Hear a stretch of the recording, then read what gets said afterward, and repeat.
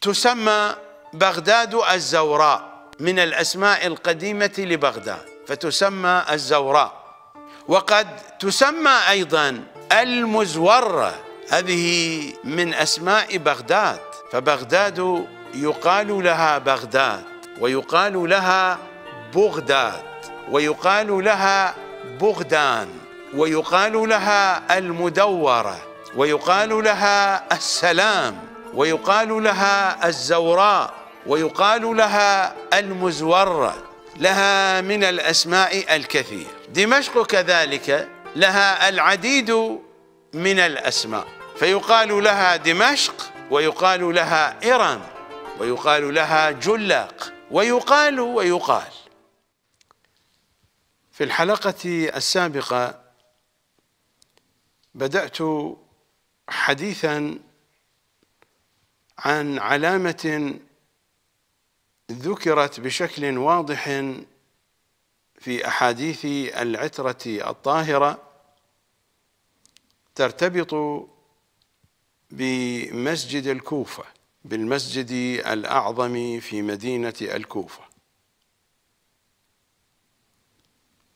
هدم خراب في حائط مسجد الكوفة.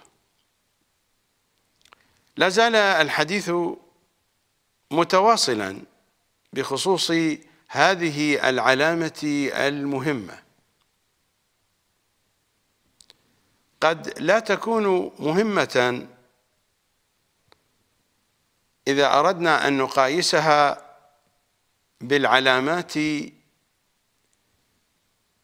الكونية التي ستكون علامات لكل البشر.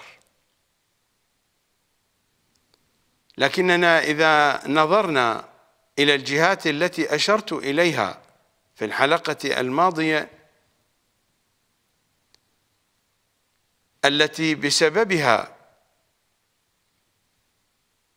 كان الاهتمام بهذه العلامة فإنها ستكون مهمة جدا. لا أريد أن أعيد الكلام المتقدم كي أنتفع من وقت الحلقة. تسلسل الحديث في الحلقة الماضية إلى أن وصلت إلى ذكر بعض الوقائع المهمة التي ذكرت في الأحاديث والروايات ستكون في زمان قريب من ظهور إمام زماننا وكل تلك الأحداث ستقع في الكوفة وبالقرب من مسجدها الأعظم.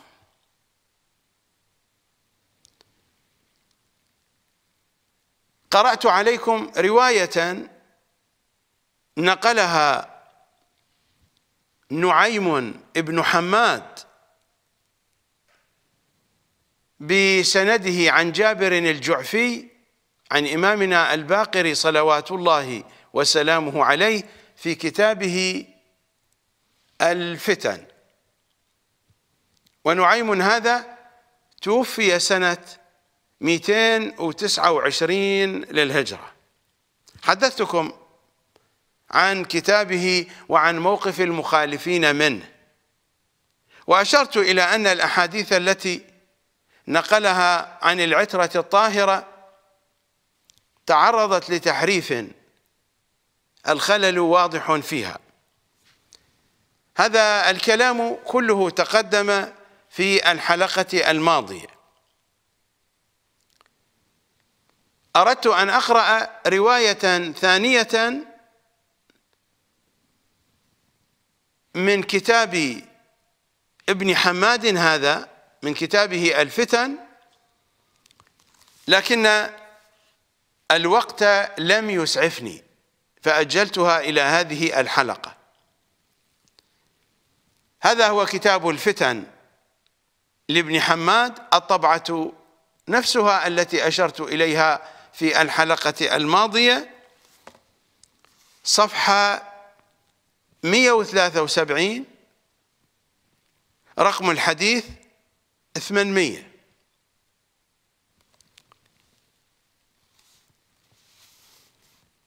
ثمانمائة.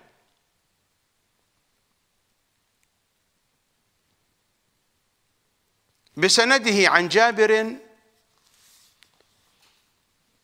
عن جابر الجعفي عن إمامنا الباقر صلوات الله عليه. إذا اختلفت كلمته الرواية بدأت مبتورة إذا اختلفت كلمتهم.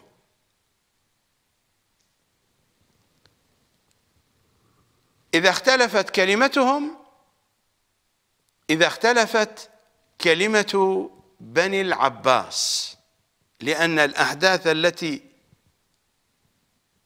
تأتي في الرواية ترتبط بالزمان الذي يختلف فيه العباسيون في بغداد في العراق. وهذا المضمون واضح في أحاديثنا ورواياتنا في كتبنا القديمة الأصلية. إذا اختلفت كلمتهم كلمة العباسيين والحديث عن العباسيين في آخر الزمان وطلع القرن ذو الشفاء. وفي النسخ الصحيحة من كتبهم من كتب المخالفين وطلع القرن ذو الشفاه وليس ذو الشفاء. وطلع القرن ذو الشفاه. القرن ذو الشفاه يراد منه النجم المذنب الذي سيظهر في السماء في الزمان القريب من وقت ظهور إمام زماننا. لماذا أطلق عليه هذا العنوان؟ القرن ذو الشفاه أطلق عليه هذا العنوان لأن رأس المذنب يبدو وكأنه قرن.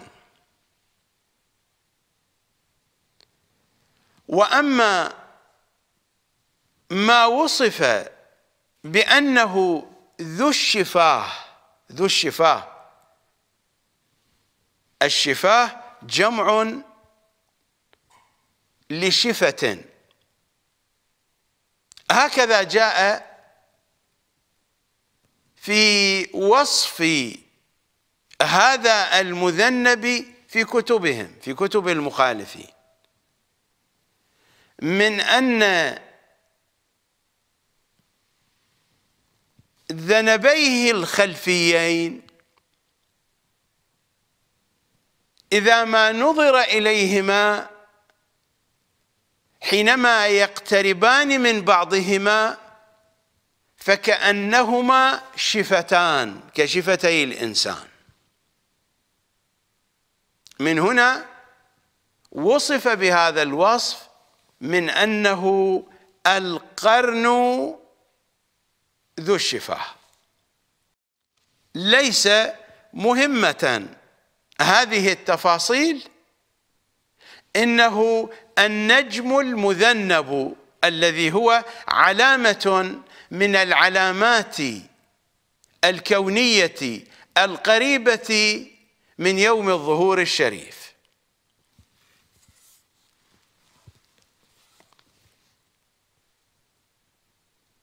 إذا اختلفت كلمته كلمة العباسيين وطلع القرن ذو الشفاء كما جاء مطبوعا هنا ذو الشفاء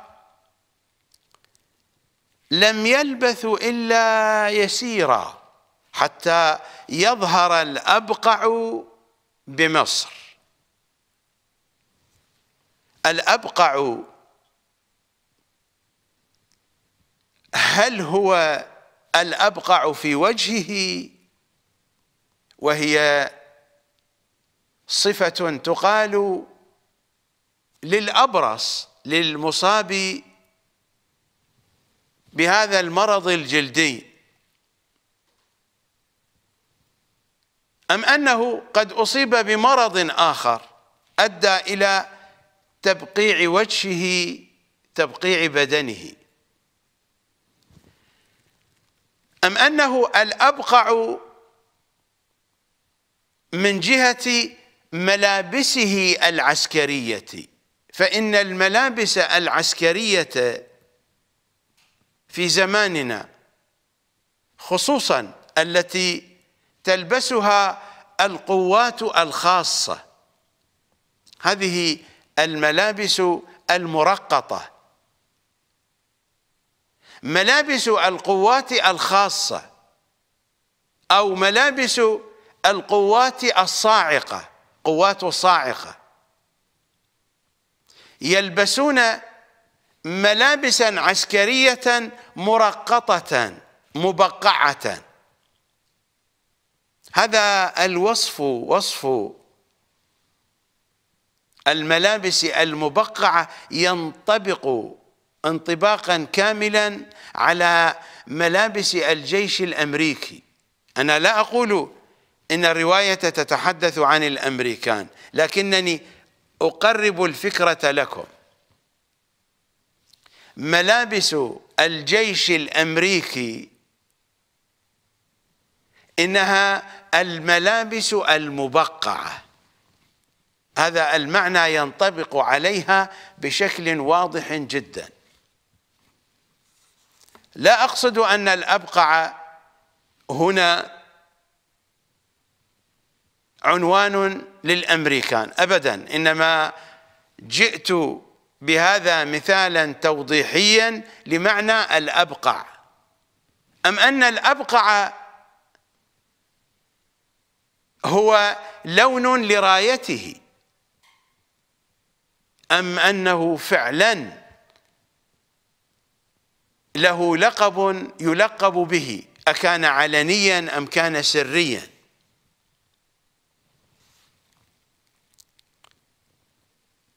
لم يلبثوا إلا يسيرا حتى يظهر الأبقع بمصر.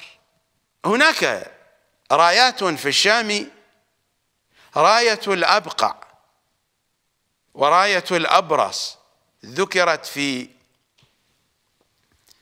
بعض الأحاديث وراية الأصهب وقد يكون الأبرص هو الأبقع وقد يكون الأبرص هو الأصهب هناك رايات عديدة.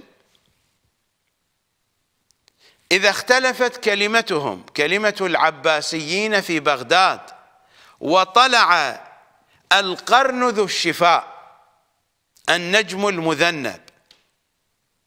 بعد طلوع النجم المذنب هذا النجم المذنب سيظهر في السماء قبل رجب العلامات كما يبدو من الأحاديث قبل رجب العلامات وربما ظهر بعد ذلك. ولكن كما يبدو من الأحاديث فإن النجم المذنب الذي تتحدث عنه الروايات والذي يكون مميزا. يختلف عن المذنبات التي رآها الناس سابقا لأنه سيكون كبيرا وواضحا جدا وبمرأى من جميع الناس. بإمكان جميع الناس أن ينظروا إليه وهو يتحرك في الفضاء.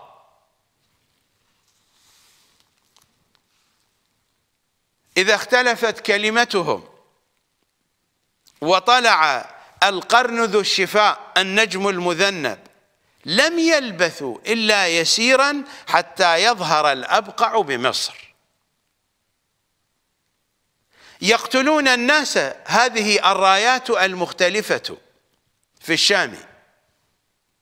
يقتلون الناس حتى يبلغوا إرم إرم عنوان قديم لمدينة دمشق.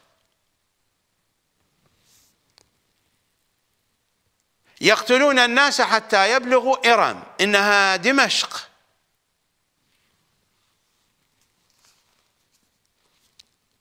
مثلما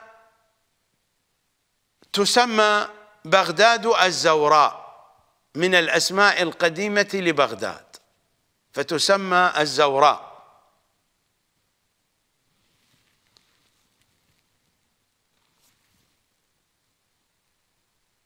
وقد تسمى أيضا المزورة. هذه من أسماء بغداد. فبغداد يقال لها بغداد ويقال لها بغداد ويقال لها بغدان ويقال لها المدورة ويقال لها السلام ويقال لها الزوراء ويقال لها المزورة. لها من الأسماء الكثير. دمشق كذلك لها العديد من الأسماء. فيقال لها دمشق ويقال لها إرم ويقال لها جلاق ويقال ويقال.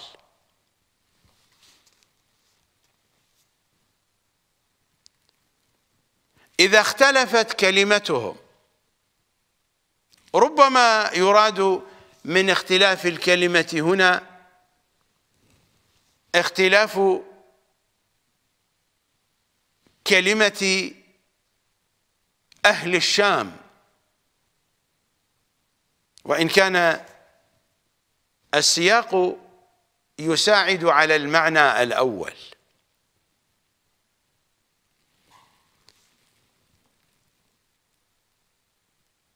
إذا اختلفت كلمتهم وطلع القرن ذو الشفاء لم يلبثوا إلا يسيرا حتى يظهر الأبقع بمصر. يقتلون الناس حتى يبلغوا إرم يبلغوا دمشق. ثم يثور المشوه عليه. يثور المشوه عليه يثور على الأبقع وعلى الرايات التي معه. المشوه في رواياتنا وصف للسفياني لأن السفيانية هناك تشويه في وجهه. وهناك قسوة في نظراته. بحسب الروايات فإن الناظر إليه تصيبه الوحشة. هذه الوحشة تأتي من خلال نظرات عيونه بالدرجة الأولى ومن خلال شيء من التشويه في وجهه. فهناك أثر الجدر واضح في عارضيه في وجهه. ولكن في الرواية هنا وفي روايات أخرى في هذا الكتاب وغيره المشوه شخصية أخرى. ثم يثور المشوه عليه وربما هو الأبرص الذي جاء ذكره في بعض الأحاديث. لا أريد أن أقف عند كل كلمة بشكل تنقيري إلى أبعد الحدود. أنا أريد أن أصل إلى غايتي التي ترتبط بالكوفة ومسجد الكوفة. لأن الحديث كان في سياق مجموعة أحداث ستقع في زمان قريب من زمان ظهور إمامنا صلوات الله عليه. هذه الأحداث تقع في الكوفة وفي أجواء مسجدها الأعظم. ثم يثور المشوه عليه فتكون بينهما ملحمة عظيمة. أين هذا؟ في الشام. ثم يظهر السفياني الملعون. فيظفر بهما جميعا بالأبقع وبالمشوه الذي هو الأصهب أو الذي هو الأبرص وربما الأبرص هو الأصهب. ثم يظهر السفياني الملعون فيظفر بهما جميعا. ويرفع قبل ذلك قبل هذه الأحداث في الشام إنها فتنة الشام المستديمة. لكن قبل أن تصل الفتنة الشامية إلى أعلاها. ويرفع قبل ذلك بحسب المطبوع اثنتي عشرة راية بالكوفة معروفة. يفترض ويرفع قبل ذلك اثنتا عشرة راية بالكوفة معروفة وليس اثنتي عشرة راية. على أي حال ويرفع قبل ذلك اثنتي عشرة راية بالكوفة معروفة. في الرواية التي قرأتها في يوم أمس جاءت هذه الرايات موصوفة من أنها معروفة منسوبة. ويرفع قبل ذلك قبل ظهور السفياني اثنتا عشرة راية بالكوفة معروفة ويقتل بالكوفة قبل ظهور السفياني وبعد ارتفاع هذه الرايات. هذه الرايات تكون موجودة ظاهرة واضحة مثل ما قلت لكم.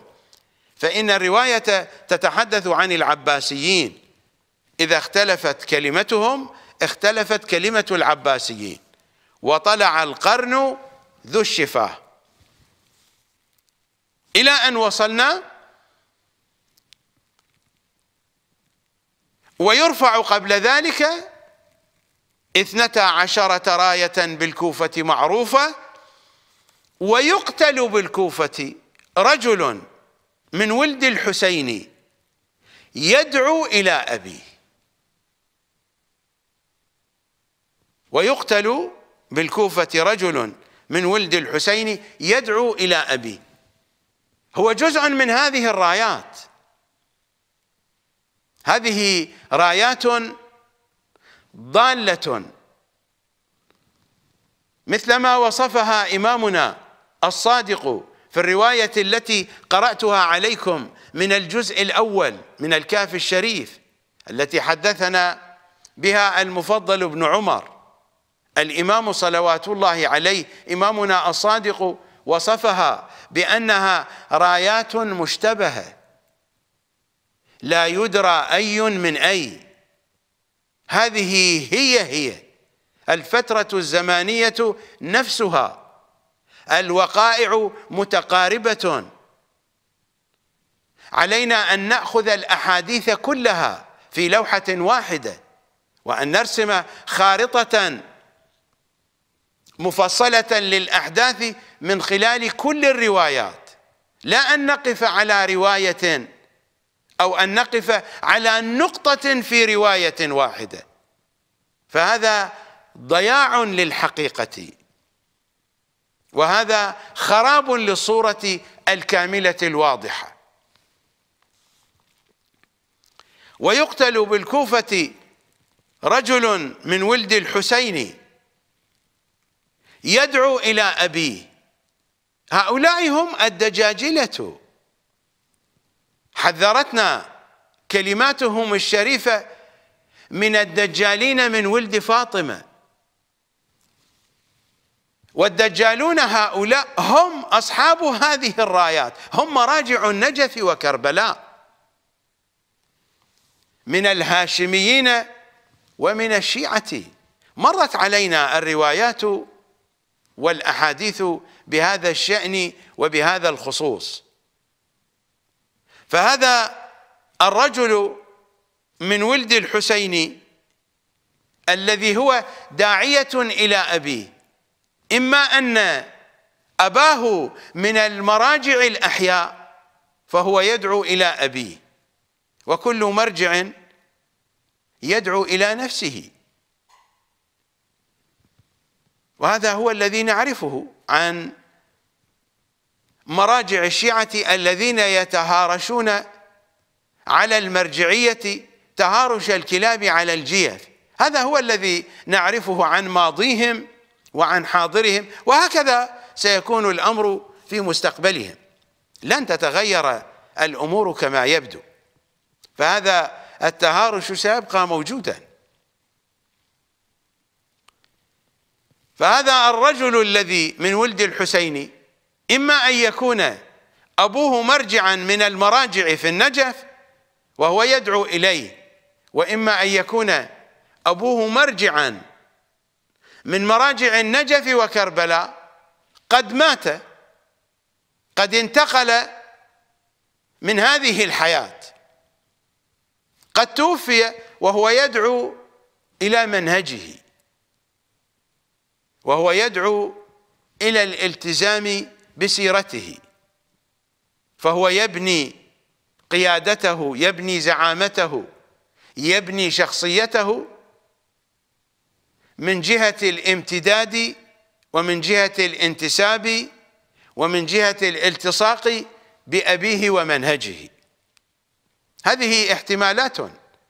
نحن لا نعلم الغيب ولا نعلم الحقيقة الكاملة. وأنا لا أحلل لكم تحليلا سياسيا ولا أقيم لكم الأمور تقييما اجتماعيا. هذه نصوص في الكتب أنا أقرأها عليكم وأبين لكم مضامينها وفقا لسياقها ووفقا لآداب العربية ووفقا لسائر النصوص الأخرى التي تلتقي معها في رسم لوحة وصورة متكاملة.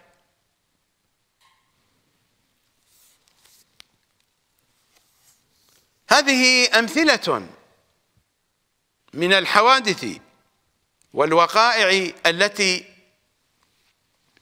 ستقع في الكوفة ولها ارتباط من قريب من بعيد بمسجد الكوفة الأعظم.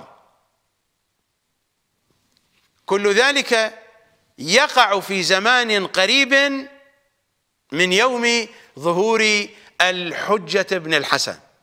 تلاحظون أن الكوفة على مساس بالمشروع المهدوي العظيم. لماذا؟ لأنها هي العاصمة. وتلاحظون أن مسجد الكوفة الأعظم له مساس بالمشروع المهدوي العظيم لماذا؟ لأن مسجد الكوفة هو مفردة مهمة من مفردات المنظومة العقائدية الكوفية وتلاحظون أن أهل الكوفة أن أهل الكوفة حينما نتحدث عن الكوفة إننا نتحدث عن النجف.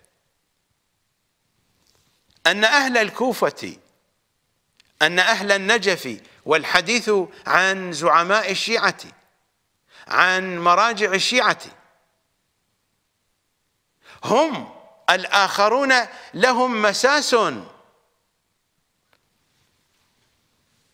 بالمشروع المهدوي العظيم لكن مساسهم مساس سلبي. هؤلاء ينفذون البرنامج الإبليسي في حربه للمشروع المهدوي. وهذه الحرب بدأت منذ أن تأسست حوزة الطوسي في النجف. منذ ذلك الوقت بدأت الحرب مفتوحة بين المشروع الإبليسي الذي يمثله مراجع حوزة الطوسي وبين المشروع المهدوي الذي يمثله إمامنا الحجة بن الحسن. صلوات الله وسلامه عليه. نذهب إلى فاصل. ما تقدم من بيانات في الحلقة الماضية وفيما مر من وقت هذه الحلقة بمثابة مقدمة كي أصل إلى الرواية نفسها التي تتحدث عن هذه العلامة. سأقرأ النص عليكم من غيبة النعماني وقد قرأته عليكم في بداية حلقة يوم أمس. الطبعة التي أشرت إليها في الحلقة الماضية في الصفحة الخامسة والثمانين بعد المئتين إنه الحديث السابع والخمسون. بسنده بسند النعماني عن خالد القلانسي عن إمامنا الصادق صلوات الله وسلامه عليه إذا هدم حائط مسجد الكوفة من مؤخره مما يلي دار ابن مسعود. فعند ذلك زوال ملك بني فلان. إنما يزول ملك بني فلان على يد الخراساني والسفياني. فإذا ما أدركنا هذا الوقت فإننا قد أصبحنا قريبين من يوم ظهور الحجة بن الحسن. إذا هدم حائط مسجد الكوفة من مؤخره مما يلي دار ابن مسعود. فعند ذلك زوال ملك بني فلان ملك بني العباس أما إن هادمه لا يبني. ساقف على الرواية هذه كي أدقق ولو بنحو إجمالي في مفرداتها وتفاصيلها.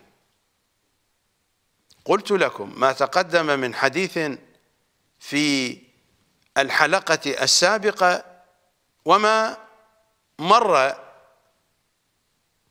من حديث في هذه الحلقة بمثابة مقدمة كي نكون على علم بأجواء الكوفة وبأجواء مسجدها. في الزمن القريب من يوم ظهور الحجة بن الحسن. سأعود الآن إلى الرواية وتفاصيلها. الإمام الصادق هكذا قال إذا هدم حائط مسجد الكوفة. حائط المسجد معروف. هذا البناء الذي يسيج المسجد. وهو حائط مرتفع وعريض سميك. وبناؤه في جذوره وأساساته بناء قديم. فحائط مسجد الكوفة معروف لدي ولديكم. هذا هو البناء الذي يسيج المسجد. هذا هو حائط مسجد الكوفة.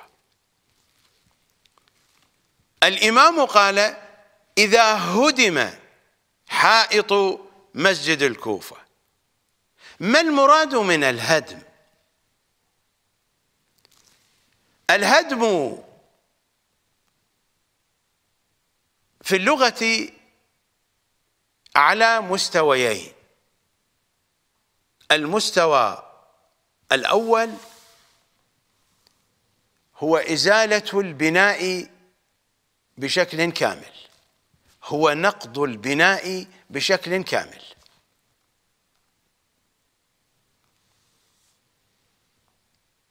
الحديث عن هدم حائط مسجد الكوفة من مؤخره. ليس هدما لكل حائط المسجد وإنما هو هدم لجهة من الحائط لجانب من الحائط لجزء من الحائط.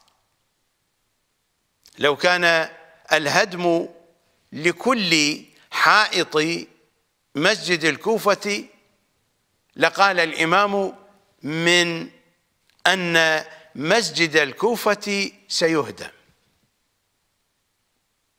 الإمام لم يتحدث عن هدم لمسجد الكوفة وإنما تحدث عن هدم في حائط مسجد الكوفة من جهة من جهاته من مؤخره.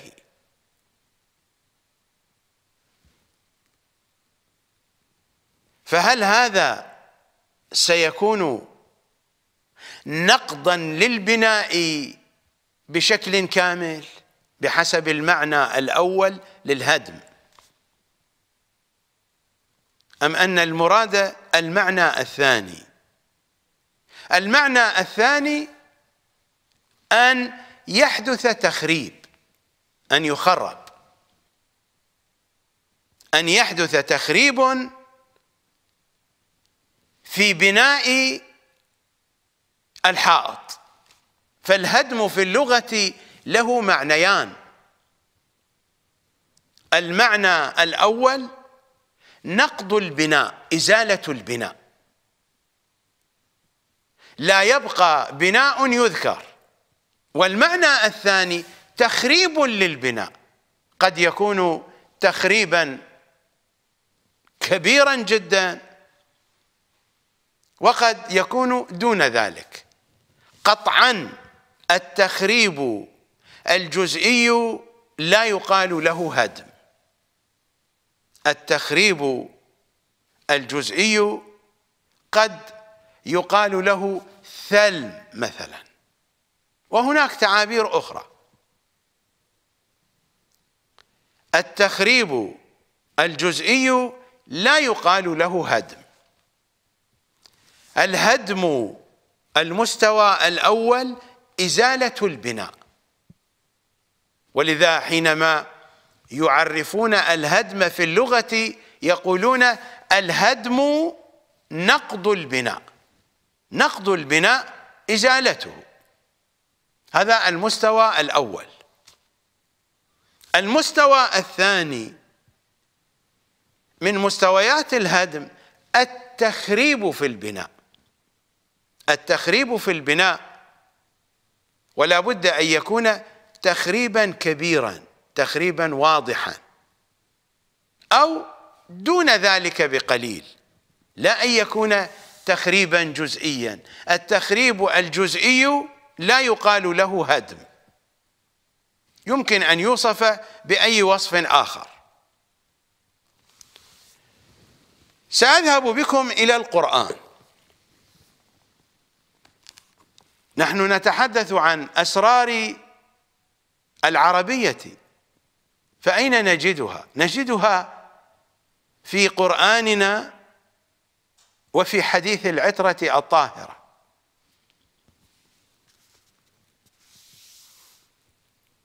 هذه المادة مادة الهدم ذكرت مرة واحدة في الكتاب الكريم في سورة الحج في الآية الأربعين بعد البسملة. وفي سياق هو هو السياق الذي نتحدث عنه.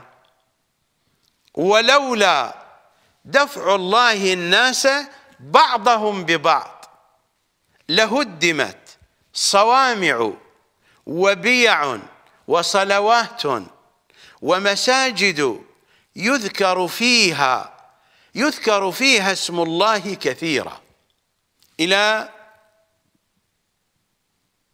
آخر الآية الكريمة. الذي نحتاجه هو الذي قرأته عليكم من الآية. ولولا دفع الله الناس بعضهم ببعض. هذه سنة التدافع. لا أريد الحديث عنها. لهدمت صوامع وبيع وصلوات ومساجد يذكر فيها اسم الله كثيرا. الصيغة جاءت هنا مبنية للمجهول الرواية أيضا. إذا هدم حائط مسجد الكوفة. جاء الفعل مبنيا للمجهول. السياق هو السياق. لهدمت صوامع وبيع وصلوات ومساجد. هذه بنايات تبنى لأجل العبادة. صوامع بيع صلوات ومساجد. لا أريد أيضا أن أدخل في التفاصيل المعنوية واللغوية لهذه الكلمات. هذه بنايات تبنى لأجل العبادة والحديث عن تهديمها. لهدمت صوامع وبيع وصلوات ومساجد يذكر فيها اسم الله كثيرا. ما المراد من تهديمها هنا؟ هل الحديث عن تهديمها بما هو تهديم قطعا؟ لا. الحديث عن تهديمها الذي يؤدي إلى عدم الانتفاع منها في العبادة وذكر الله. والحالة هذه لها صورتان. الصورة الأولى أن تنقض هذه الأبنية نقضا تاما إنها إزالة للبناء. أو أنها تخرب تخريبا كبيرا بحيث لا تعود نافعة للغرض الذي أسست لأجله. فالتهديم يشمل المعنيين. وهذا هو الذي حدثتكم عنه قبل قليل من أن الهدم في اللغة على مستويين. المستوى الأول الإزالة والمستوى الثاني التخريب الكبير أو ما يكون قريبا من التخريب الكبير. الآية هنا تحدثت عن هذا المضمون. لهدمت صوامع وبيع وصلوات ومساجد. ماذا يجري في هذه المساجد التي ستهدم وفي دور العبادة؟ يذكر فيها اسم الله كثيرا. اذا احتمالات الهدم هي التالية. الاحتمال الأول أن الهدم بمعنى الإزالة بشكل كامل وحينئذ لا يذكر الله فيها لا كثيرا ولا قليلا. أو أنها تخرب تخريبا واضحا بحيث لا يذكر فيها سبحانه وتعالى كثيرا ربما يذكر قليلا. هذا إذا أخذنا كثيرا كقيد في الكلام. ويبدو أنه كذلك. يعني يمكن أن تخرب تخريبا كثيرا لكنها لن تكون موضعا ومحلا للعبادة الكثيرة لكل الناس. ربما ينتفع البعض منها من الذين لا يعبؤون أن يقيموا العبادة في الخرائب أو في غير الخرائب. لا يبحثون عن الأماكن العامرة ببنائها. من العباد من الزهاد من أمثال هؤلاء. فالهدم هنا يتناول هذه الصور. الإزالة الكاملة التي لا تكون في هذه الأماكن عبادة ولا يكون ذكر لله لا كثيرا ولا قليلا. أو أنها تخرب تخريبا واضحا فلا يذكر الله فيها كثيرا وإنما يذكر الله فيها قليلا لأن الذين ينتفعون منها هم بعض أناس. كما قلت لكم إذا أخذنا كثيرا قيدا في فهم الآية. ولولا دفع الله الناس بعضهم ببعض لهدمت صوامع وبيع وصلوات ومساجد يذكر فيها اسم الله كثيرا اذا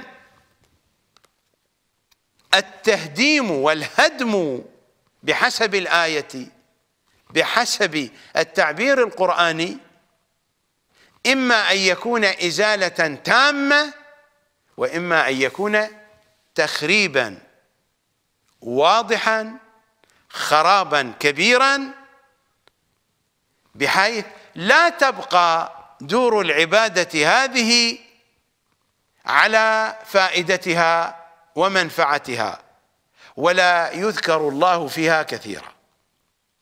هذا ما يظهر لنا من معنى الهدم من الكتاب الكريم. إذا ذهبنا إلى نهج البلاغة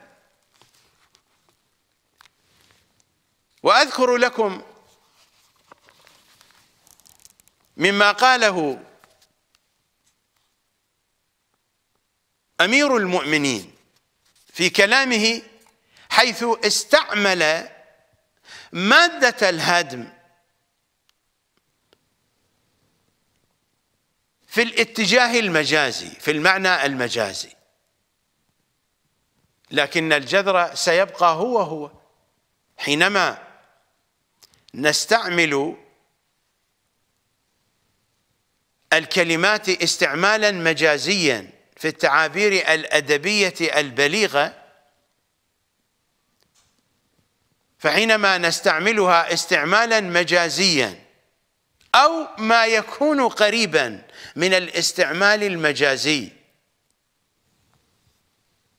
فإننا نستعمل الجذر المعنوية للكلمة في استعمالها الحقيقي لن نخرجها من جذرها اللغوي الأصل. الطبعة طبعة دار التعارف إنني أقرأ عليكم من نهج البلاغة الشريف. صفحة 144 من الخطبة 145 من خطب الأمير. أذهب إلى موطن الحاجة منها. الأمير يقول صلوات الله عليه ولا يعمر معمر منكم يوما من عمره إلا بهدم آخر من أجله. استعمال مجازي لأن الأصل في الهدم هو الهدم المادي. الحديث هنا عن هدم معنوي. في أصل اللغة الهدم هدم مادي. هدم لبناء مادي. هدم ونقض للحجر للطابوق للصخور. الهدم هنا هدم معنوي. في الاستعمال المجازي الجذر يبقى هو هو لأننا إذا لم نحافظ على الجذر فقد جعلنا للكلمة معنى ثانيا والاستعمال المجازي ما هو بتأسيس معنى ثان للكلمة؟ إنه استعمال في اتجاه أدبي معين.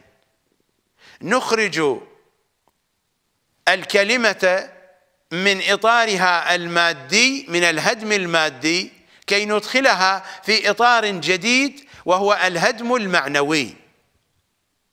وإن كان الهدم هنا ليس هدما معنويا صرفا الحديث عن هدم للأجساد وللآجال. فهدم الآجال هو هدم للأجساد ولزمان الأرواح الذي تكون فيه مرتبطة بتلك الأجساد. ولا يعمر معمر منكم يوما من عمره. كلما مر يوم من أيام حياتنا إلا بهدم آخر من أجله. فحينما يكون الإنسان في بدايات الشباب يرى نفسه متمتعا بالشباب ويحب أن يتقدم في سن الشباب إلى الأمام أن يتكامل في سن شبابه. فهو يتصور أنه يعيش حالة إعمار. حالة عمران لكنه في الحقيقة من جهة أخرى يعيش حالة هدم. فكلما مر يوم من أيام أعمارنا كلما اقتربنا شيئا فشيئا من آجالنا. ولا يعمر معمر منكم يوما من عمره إلا بهدم آخر من أجله. فهذا الهدم هدم لبعض العمر لبعض الإنسان. فالهدم قد يكون هدما للكل وقد يكون هدما للبعض. صحيح أن الاستعمال هنا استعمال مجازي. أو ما يقرب من الاستعمال المجازي.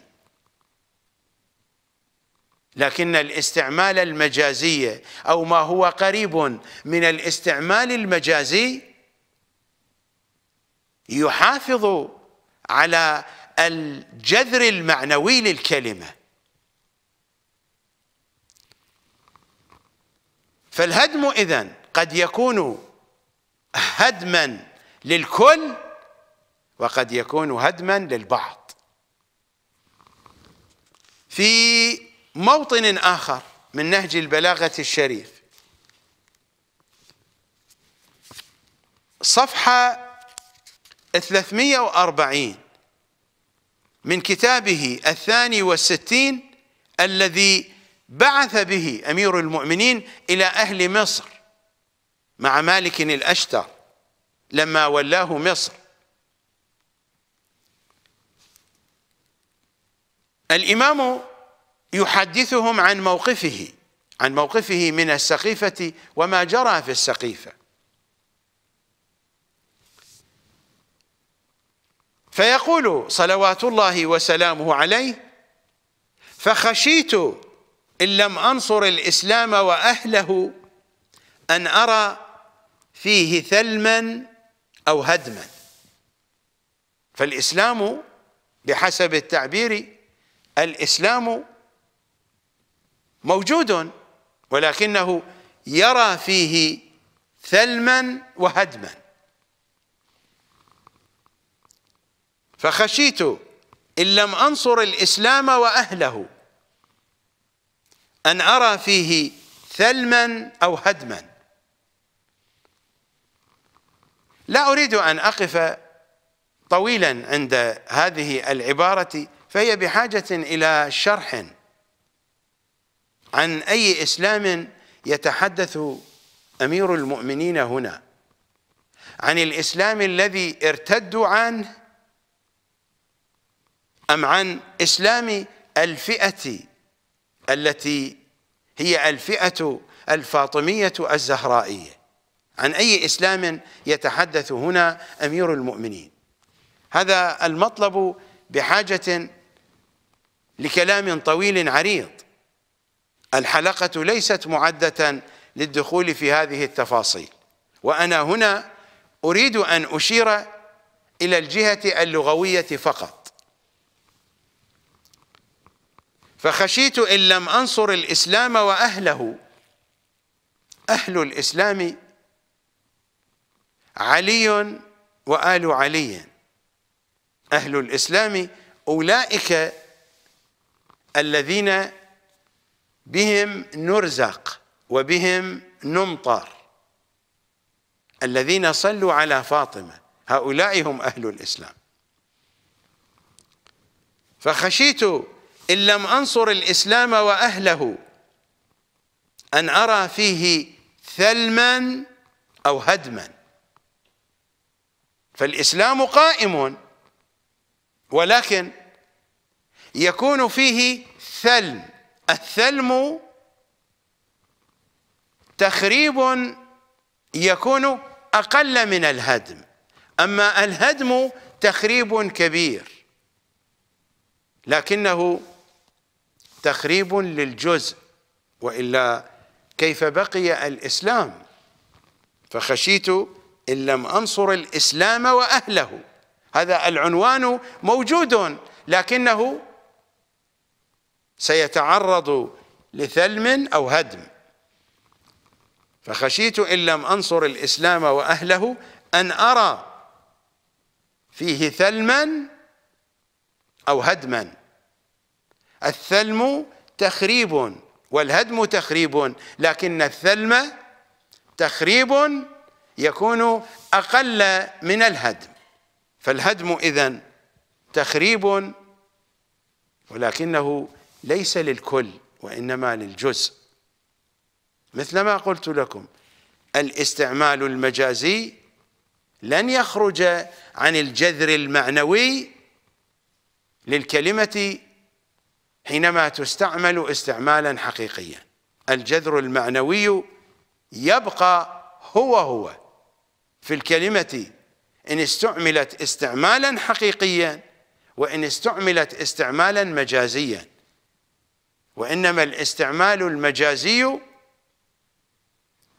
ناظر إلى طريقة التعبير وليس إلى تغيير الجذر المعنوي للكلمة. فخشيت إن لم أنصر الإسلام وأهله أن أرى فيه ثلما أو هدما. فالهدم سيكون كليا وسيكون جزئيا. وتلاحظون من أن سيد الأوصياء في الخطبة المتقدمة استعمل الهدم بالمعنى الجزئي. وهنا في كتابه إلى أهل مصر استعمل الهدم بالمعنى الجزئي. هناك سيكون تخريب جزئي. في موطن آخر. هناك العديد من المواطن سأكتفي بهذه الأمثلة والشواهد التي أوردتها بين أيديكم. صفحة 383 في كلماته القصار رقم الكلمة 215 ماذا يقول أمير المؤمنين؟ الخلاف يهدم الرأي. يهدم الرأي ألا يطبق على أرض الواقع لكن الرأي سيبقى موجودا. فهذا هدم جزئي. لأن الخلاف لا يزيل الرأي وإنما يهدم الرأي. يهدم الرأي لأنهم لن يعملوا به ربما جميعهم لا يعملون بذلك الرأي الصحيح وربما أكثرهم لا يعملون بذلك الرأي الصحيح. وتبقى قلة تعمل بذلك الرأي الصحيح وهنا حدث هدم للرأي لكن الرأي بقي موجودا وربما عمل به العديد من أولئك الذين اختلفوا حوله واختلفوا فيه. الخلاف يهدم الرأي الهدم ليس للكل وإنما الهدم للبعض ولكن لجهة كبيرة. حتى في الشعر العربي هناك بيت مشهور يضرب مضرب الأمثال ويستشهد به كثيرا.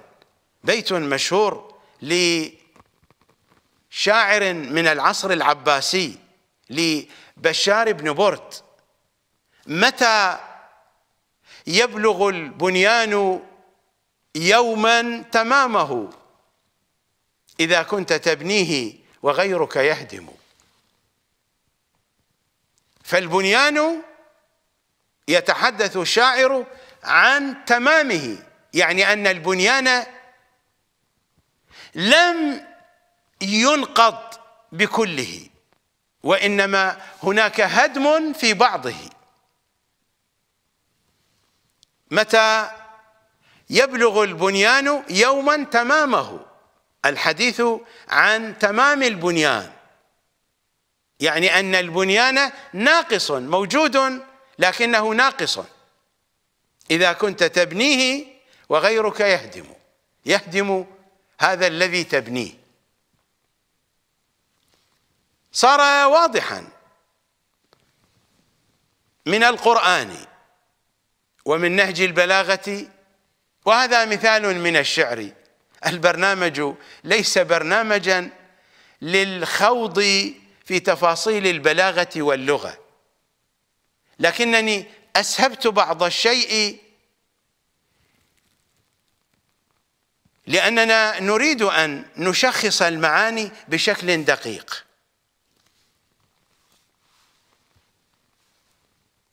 الإمام هكذا قال إذا هدم حائط مسجد الكوفة من مؤخره. هذا لا يشعر بهدم كامل للحائط. قلت لكم الهدم قد يكون نقضا للبناء بالتمام والكمال إنها إزالة. وقد يكون تخريبا وقد يكون تخريبا لكنه تخريب واضح تخريب كبير تخريب مهم. أصحاب الخبرة في البناء يقولون عنه هذا التخريب تخريب كبير. ما هو بتخريب جزئي؟ يصطلح عليه الهدم. فالهدم إما أن يكون إزالة ونقضا للبناء من أسسه. فلا يبقى هناك بناء وإما أن يكون تخريبا كبيرا تخريبا واضحا. هذا التخريب بالدرجة الأولى يحكم عليه الخبراء بالبناء من أن التخريب هذا تخريب كبير تخريب أساسي تخريب جذري تخريب خطير. من خلال البيانات اللغوية والبلاغية لمعنى الهدم فإن هذا ينطبق عليه هذا العنوان. ينطبق عليه عنوان الهدم. وهذا التعبير إذا هدم حائط مسجد الكوفة من مؤخره مما يلي. دار ابن مسعود هناك جزء من الحائط.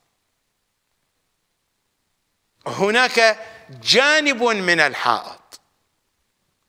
يتعرض للهدم إما أن ينقض نقضا كاملا هذا الجزء وإما أن يتعرض لتخريب كبير.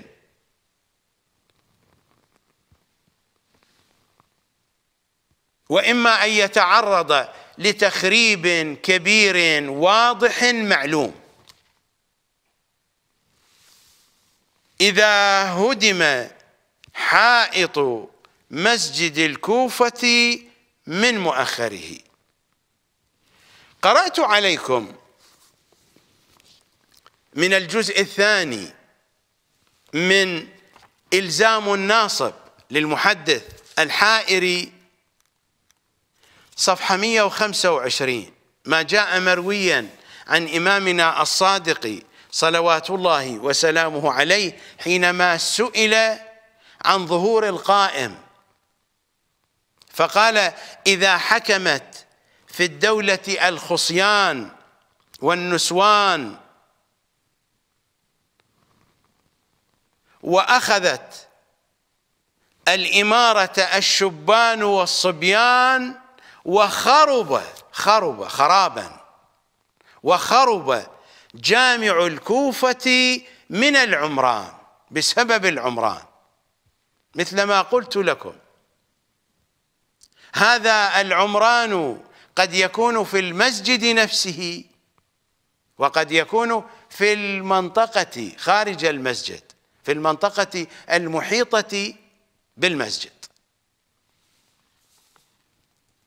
فالرواية هنا واضحة من أن الجامع سيتعرض لخراب وخرب جامع الكوفة من العمران.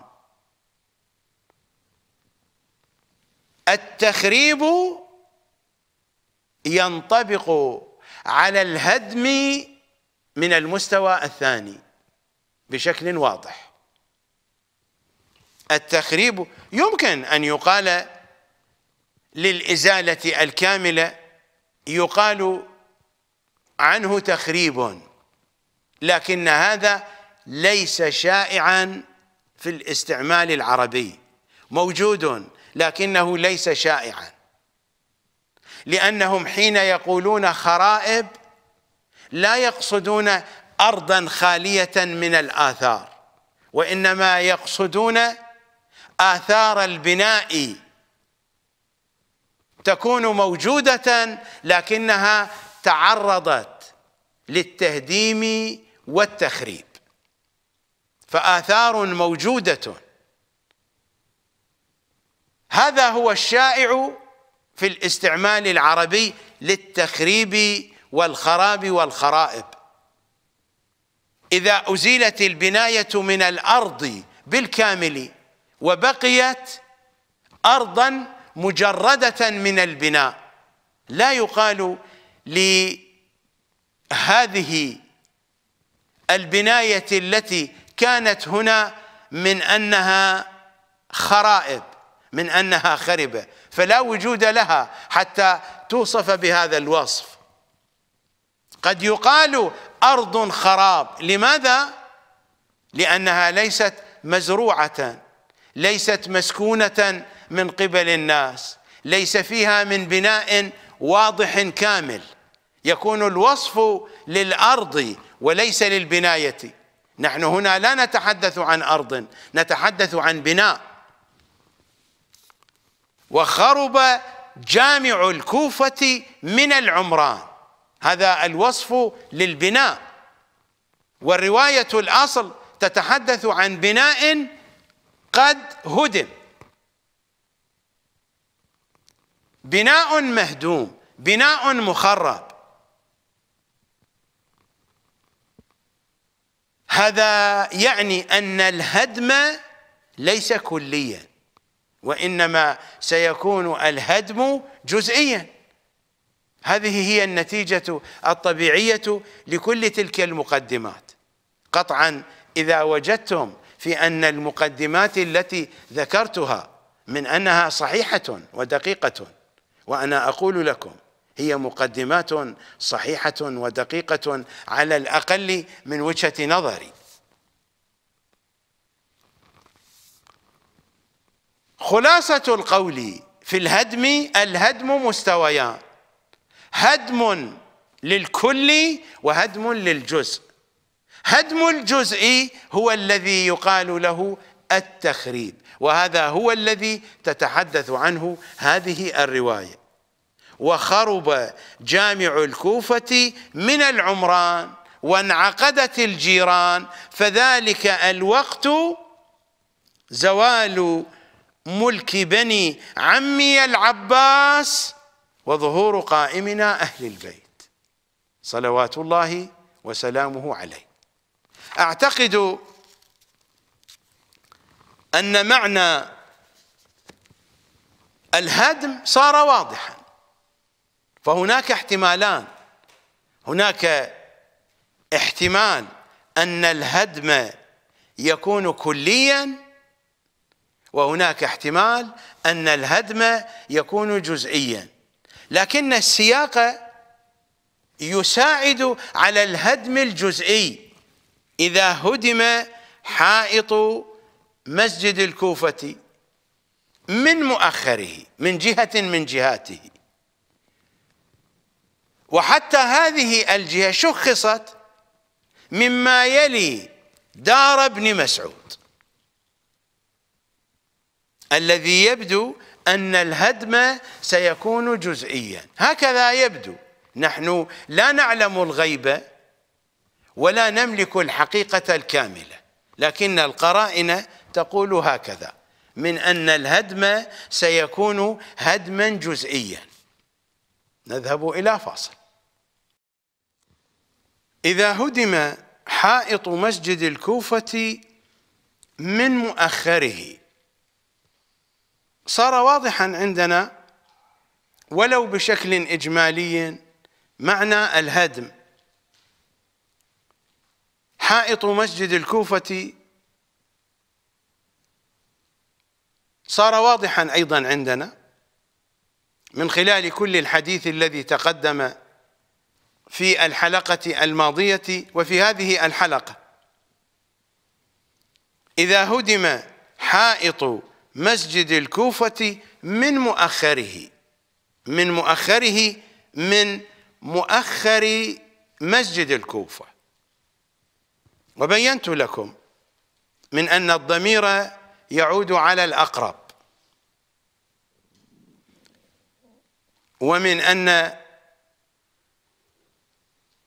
الإعراب لهذه الكلمة مؤخره فإننا نعربها على أنها بدل بعض من كل بدل جزء من كل. لا أريد أن أعيد هذا الكلام الذي تقدم ذكره مرة أخرى فإني أرى الوقت يجري سريعا. حدثتكم عن هذا في الحلقة الماضية. إذا هدم حائط مسجد الكوفة من مؤخره. أين هو مؤخر المسجد؟ من مؤخره. مؤخر المسجد يأتي على معنيين. مرة نتحدث عن المسجد بما هو مسجد. وفقا لبناء المساجد. فإن مقدم المسجد سيكون الجانب الذي يبنى باتجاه القبلة.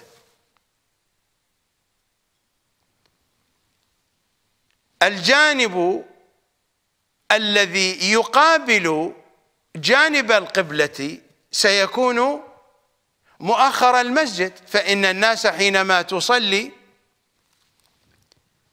وتقول من أننا صلينا في مقدمة المسجد مقدمة المسجد يعني عند المحراب عند المكان الذي يقف فيه إمام الصلاة.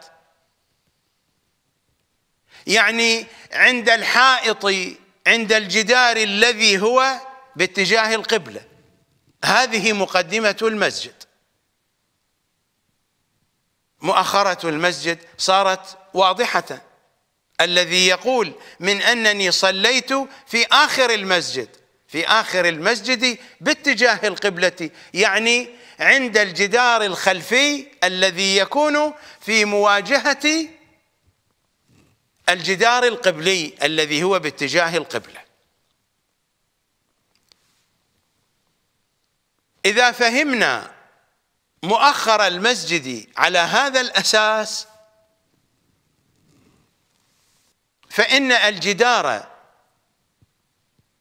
فإن الحائط الشمالية لمسجد الكوفة سيكون هو مؤخر المسجد.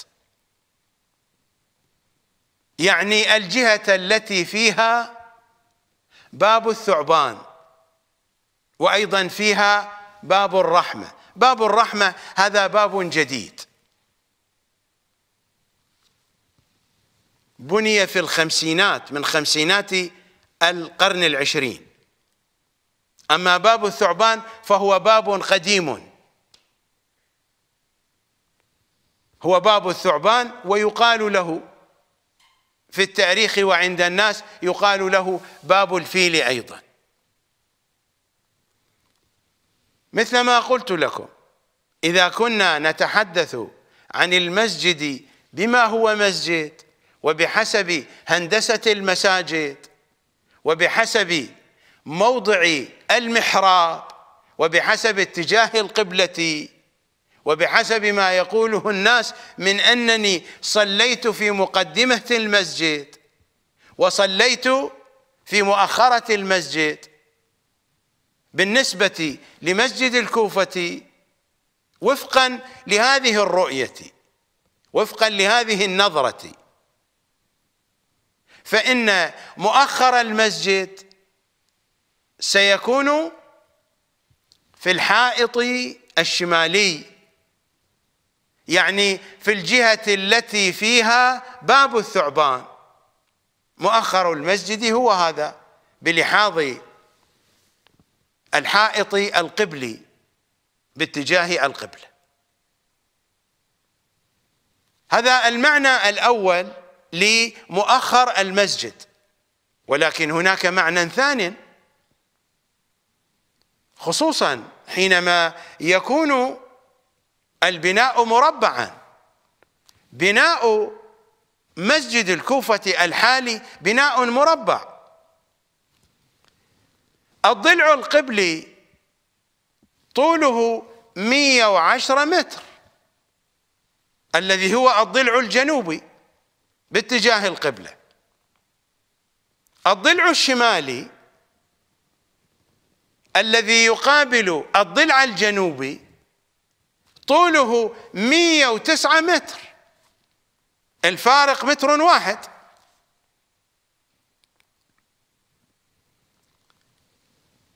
الضلع الغربي. الضلع الغربي للمسجد 116 متر. والضلع الشرقي للمسجد أيضا جهة مسلم بن عقيل. صلوات الله عليه وهاني ابن عروة رضوان الله تعالى عليه. هذه الجهة. طول الضلع هنا 116 متر. فهو مربع. في بناء مفتوح مربع.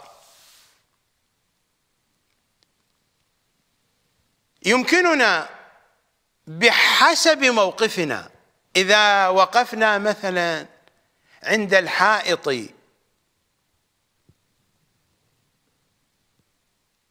الشرقي يمكننا أن نقول عن الحائط الغربي الذي يواجهنا تلك هي مؤخرة المسجد. وإذا وقفنا عند الحائط الغربي يمكننا أن نؤشر على الحائط الشرقي ونقول تلك هي مؤخرة المسجد. والأمر هو هو. إذا وقفنا عند الحائط القبلي يمكننا أن نؤشر على الحائط الشمالي ونقول تلك هي مؤخرة المسجد وبالعكس أيضا إذا وقفنا عند الحائط الشمالي يمكننا أن نشير إلى الحائط الجنوبي إلى الحائط القبلي ونقول من أن آخر المسجد هناك. فهذه قضية نسبية. ولذا فإن الإمام الصادق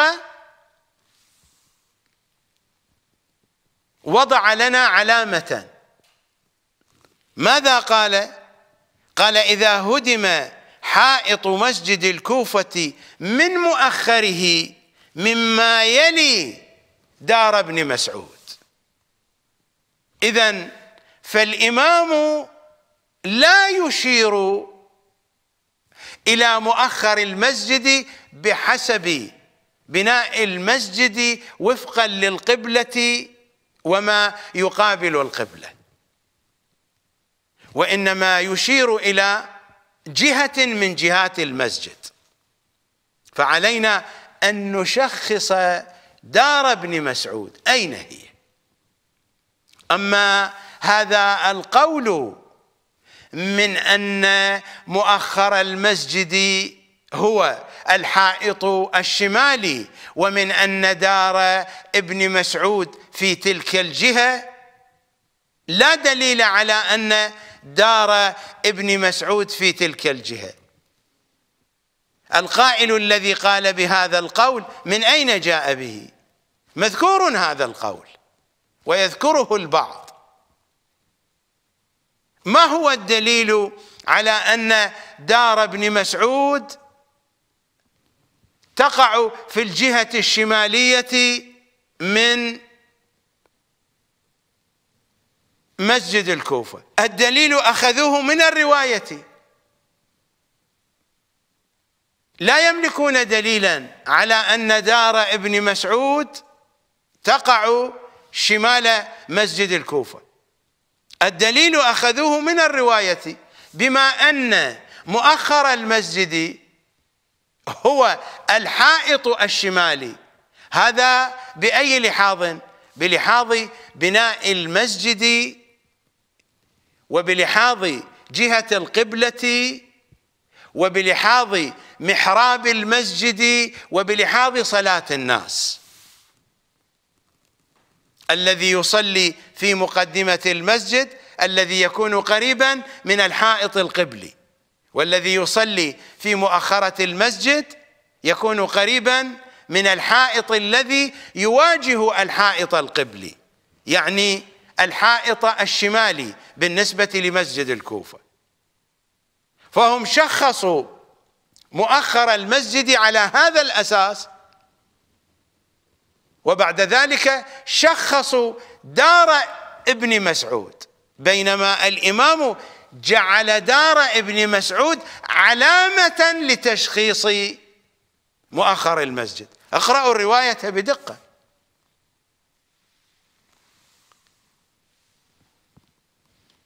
لا حاجة لدار ابن مسعود إذا كنا نعرف أن الجهة الشمالية لمسجد الكوفة هي مؤخر المسجد. فلا حاجة لذكر دار ابن مسعود. إنما ذكرت دار ابن مسعود لأجل أن نشخص الجهة التي سيحصل فيها الخراب. اقرأوا الرواية بدقة. إذا هدم حائط مسجد الكوفة من مؤخره مما يلي دار ابن مسعود. الإمام لا يريد أن يشخص لنا دار ابن مسعود. لا علاقة لها بالموضوع. إذا كان لها من علاقة فهي علامة لتمييز الجهة التي سيقع فيها التخريب. وإلا أن نشخص دار ابن مسعود وفقا للرواية على أساس أن مؤخر المسجد هو الحائط الشمالي هذا الكلام لا ينسجم مع سياق وبلاغة الرواية. إذا هدم حائط مسجد الكوفة من مؤخره فالإمام يتحدث عن مؤخر مسجد الكوفة بالمعنى الثاني بالمعنى النسبي حينما أقف عند الحائط الشرقي للمسجد وأشير إلى الحائط الغربي أقول إن مؤخرة المسجد هناك. أو حينما أقف عند الحائط الغربي وأشير إلى الحائط الشرقي من أن مؤخر المسجد هناك. والأمر هو هو مع الحائط الجنوبي والشمالي. الجهات نسبية. حينما نقول شرق وغرب شمال وجنوب هذه كلها نسبية. والكلام يجري هنا بنفس هذا المجرى.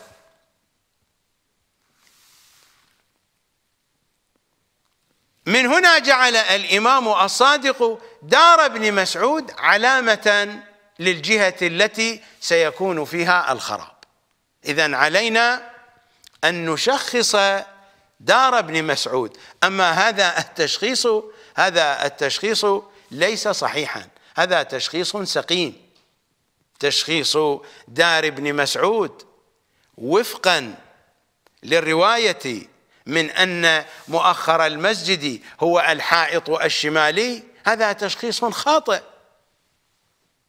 لأن الإمام أساسا جاء بدار ابن مسعود علامة لتشخيص مؤخر المسجد.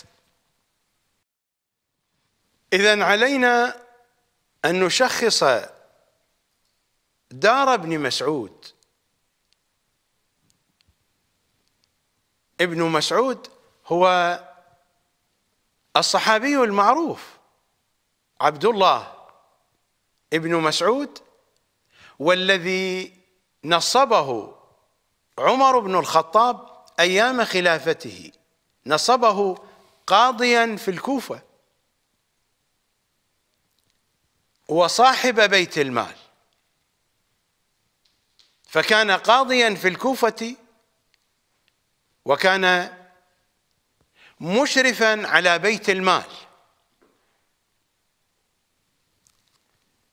وبقي ابن مسعود أيام عمر في الكوفة قاضيا ومشرفا على بيت المال إلى أيام خلافة عثمان. بقي ردحا من الزمن في بداية خلافة عثمان بن عفان وبعد ذلك رجع إلى المدينة حكاية لها تفصيل. لسنا بصدد الحديث عن تاريخ تلك الأيام. فقد بقي لمدة ليست قصيرة. عبد الله بن مسعود في الكوفة وبنى له دارا فيها. فكانت داره معروفة فهو القاضي وهو صاحب بيت المال. هو وزير المالية وهو القاضي في الوقت نفسه. فبيته معروف عند أهل الكوفة. وبيته معروف في زمان إمامنا الصادق وهو يتحدث عن هذه العلامة. لكن في زماننا نحن لا نعرف أين يقع بيت عبد الله بن مسعود. الكلام الذي ذكرته لكم قبل قليل من أن هناك من يقول من أن بيت ابن مسعود يقع في الجهة الشمالية من مسجد الكوفة. هذا الكلام أخذ من الرواية التي نحتاج في فهمها إلى تشخيص دار عبد الله بن مسعود حتى نفهمها. فالذين ذهبوا بهذا الاتجاه فهموا الرواية بالمقلوب. جعلوا الرواية وما فيها من ذكر لمؤخر المسجد علامة على تشخيص مكان بيت عبد الله بن مسعود. بينما في زمن الإمام بيت عبد الله بن مسعود كان مشخصا عند أهل الكوفة. فعبد الله بن مسعود في زمن عمر وفي زمن عثمان كان القاضي الأول في الكوفة وكان صاحب بيت المال. فضلا عن أنه صحابي معروف وشخصية إسلامية معروفة في ذلك الوقت. فلذا كان بيته مشخصا حتى بعد أن خرج من الكوفة ومات عبد الله بن مسعود بقي بيته علامة شاخصة واضحة معروفة حتى وإن سكن في البيت غيره من الساكنين.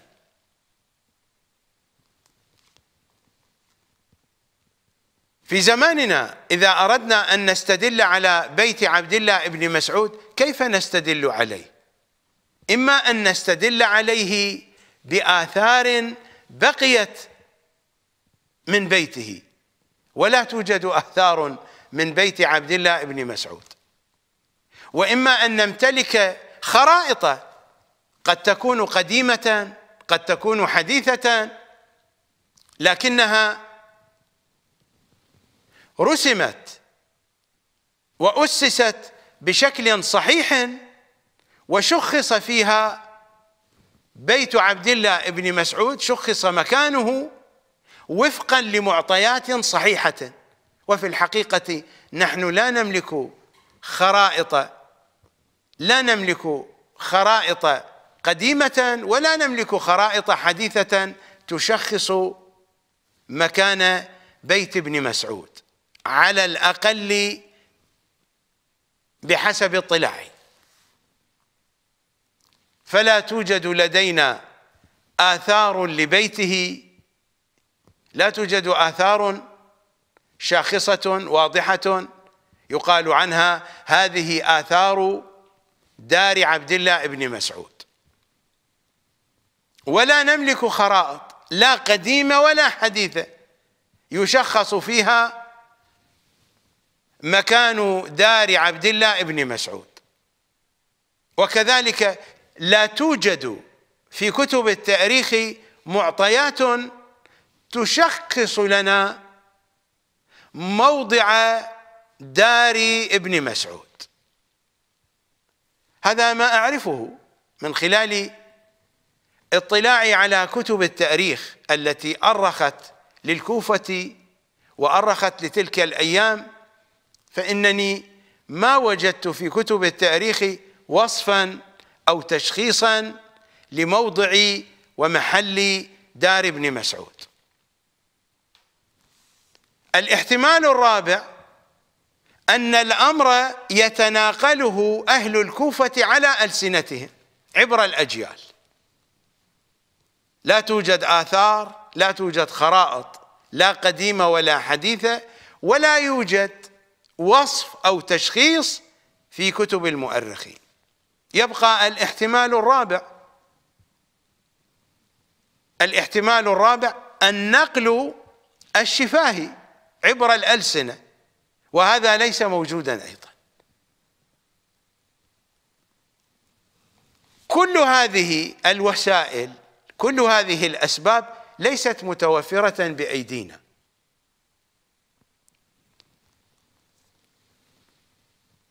لكنني يمكنني من خلال بعض القرائن أن أشخص مكان دار عبد الله بن مسعود. من خلال التنقيب في مجمل القرائن التي ذكرت ما بين رواياتنا وأحاديثنا وما جاء مذكورا في كتب المؤرخين. يمكنني أن أشخص دار عبد الله بن مسعود وأين تقع في الكوفة؟ وأين تقع بملاحظة مسجد الكوفة؟ مسجد الكوفة لما بني ومصرت مدينة الكوفة أول حاكم فيها نصب من قبل الخليفة عمر. أول حاكم هو سعد بن أبي وقاص. هذا هو أول حاكم في الكوفة. سعد بن أبي وقاص.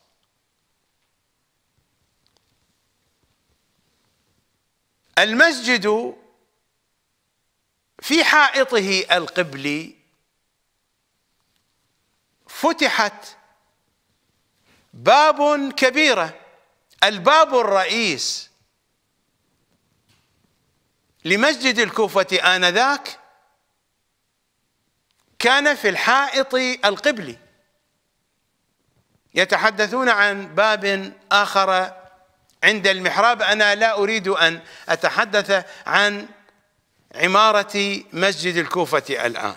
أريد أن أشخص موضع دار عبد الله بن مسعود. الباب الرئيس كان في الحائط القبلي. بالضبط في مواجهة باب الثعبان. باب الثعبان في الحائط الشمالي الذي هو يواجه الحائط الجنوبي الذي هو الحائط القبلي. كان هناك باب وهذا الباب هو الباب الذي كان يدخل منه أمير المؤمنين حينما يأتي من داره. فدار أمير المؤمنين كانت قريبة من هذا الباب وآثارها موجودة إلى يومنا. آثار الدار الدار موجودة. دار الأمير معروفة في الكوفة. فهي قريبة من الحائط القبلي لمسجد الكوفة. البوابة الرئيسة كانت هنا في الحائط القبلي. وصنعوا لها مقدمة ظللوها. لأن الناس كانت تأتي لأجل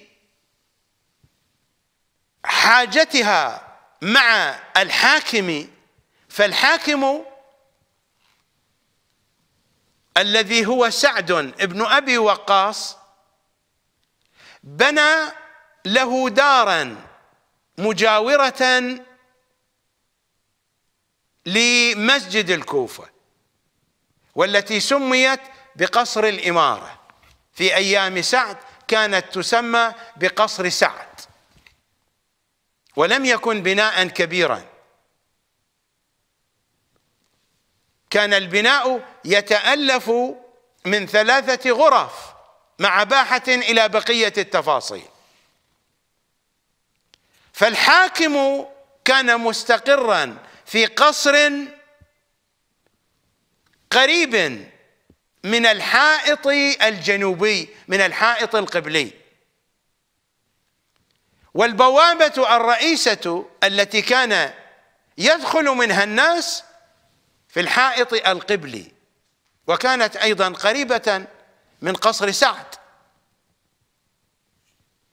هذه منطقة متقاربة قصر الإمارة الذي آثاره موجودة اليوم بناه بهذه السعة زياد بن أبي.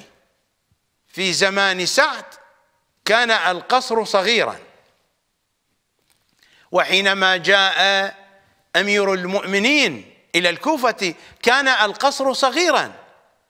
وقالوا له ننزلك يا أمير المؤمنين في هذا القصر. فرفض الأمير. قال هذا قصر الخبال. تسميته بقصر الخبال هذه تسمية من أمير المؤمنين. فقال إني لا أسكن في هذا القصر. هذا القصر قصر الخبال. قد تسألون عن معنى الخبال. الخبال في اللغة الفساد. والخبال في الثقافة الدينية نوع شراب جهنمي يشربه أهل جهنم. وخصوصا الذين يعاقبون على شربهم المسكر. في الروايات عندنا من شرب مسكرا كان حقا على الله أن يسقيه من طينة خبال.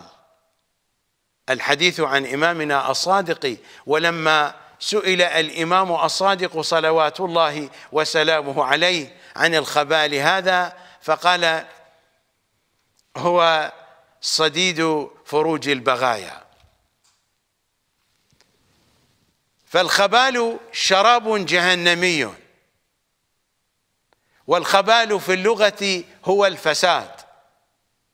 والأمير يشير إلى المعنيين حين قال هذا القصر قصر الخبال فهو قصر الفساد وهو قصر البغايا وهو قصر الخمور وقصر كل موبقة من موبقات أعداء محمد وآل محمد صلوات الله وسلامه عليهم أجمعين. اذا هذه الجهة الجهة التي تقع بعد الحائط القبلي. قصر الأمير. وفي أيام سعد كان بيت المال بجانب قصره إلى أن سرقه اللصوص. نقبوه وثقبوه ودخلوا إليه وسرقوا بيت المال وتفصيل في التأريخ مذكور. أنا لا أريد أن أحدثكم عن كل صغيرة وكبيرة. فقصر الأمير هنا وبيت المال هنا. وجهاء القوم من الصحابة أين قطنوا؟ قطنوا في هذا المكان أيضا. بنوا بيوتا في هذه الجهة في الجهة التي بنى فيها سعد قصره. كبار الصحابة من الذين قطنوا الكوفة سكنوا في هذه المنطقة في جنوب المسجد ما بعد الحائط القبلي. حتى دار الرزق التي أنشئت بعد ذلك في زمن متأخر عن الزمن الذي أتحدث عنه دار الرزق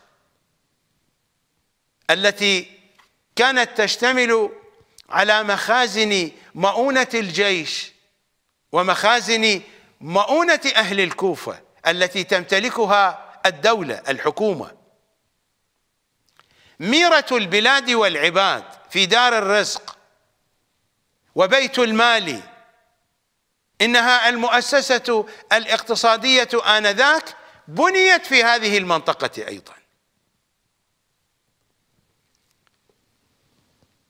القريشيون الذين كانت لهم منزلة بين الناس بنوا بيوتهم في هذه المنطقة.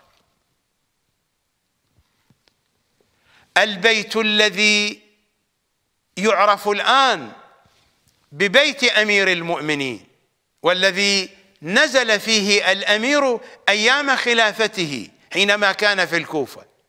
هذا البيت في الأصل ما هو لأمير المؤمنين؟ هذا البيت كان موجودا وكان مبنيا. هذا البيت لجعدة ابن هبيرة المخزومي. هذا البيت لجعدة ابن هبيرة المخزومي. من جعدة هذا؟ جعدة هذا أمه أم هانئ أخت أمير المؤمنين. صلوات الله وسلامه عليه. فالأمير نزل في بيت ابن أخته. وجعدة كان من الدائرة المقربة من أمير المؤمنين.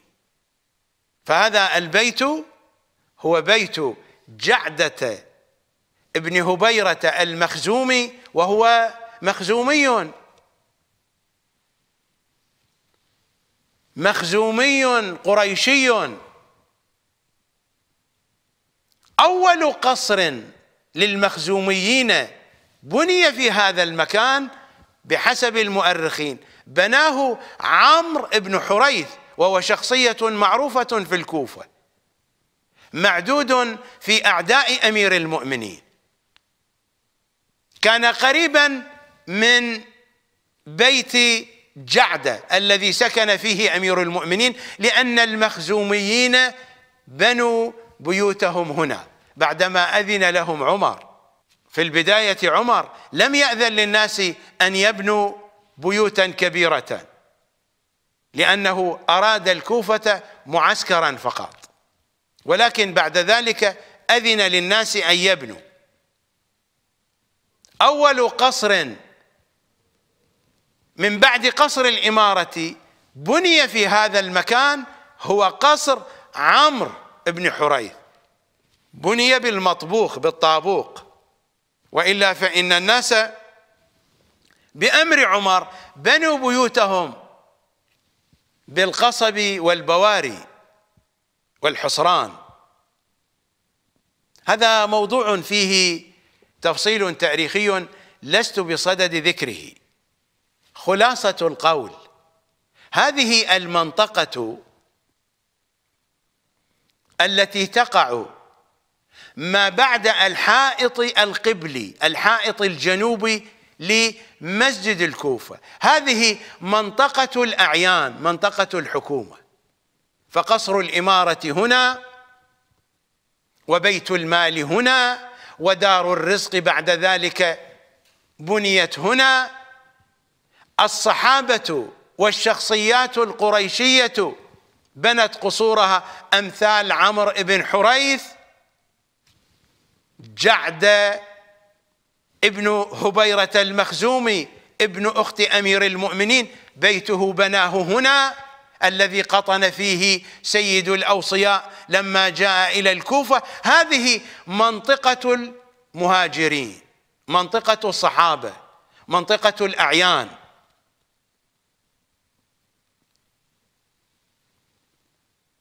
عبد الله بن مسعود قطعا سيكون بيته وداره هنا. فهو القاضي وهو صاحب بيت المال. ودائرة عمله بيت المال هي هنا في هذا الموطن. قطعا سيكون بيته ستكون داره في هذه الجهة في الجهة الجنوبية من المسجد وليست في الجهة الشمالية. نحن عندنا نص مهم جدا. في كتاب الإرشاد.